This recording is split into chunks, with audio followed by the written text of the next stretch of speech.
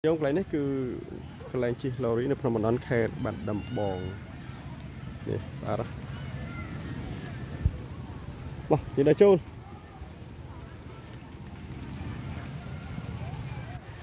តោះស្អាតញញើមួយនេះទេសភាពក៏មួយយ៉ាងដែរញញើ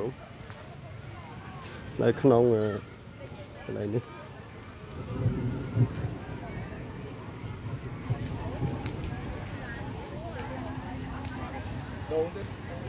Ừ.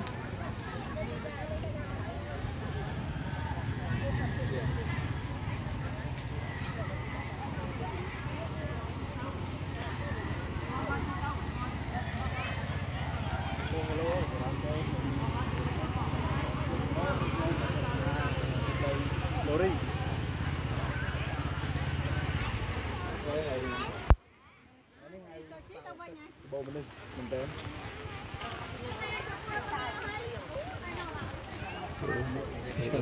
그렇구나. 오늘. Okay.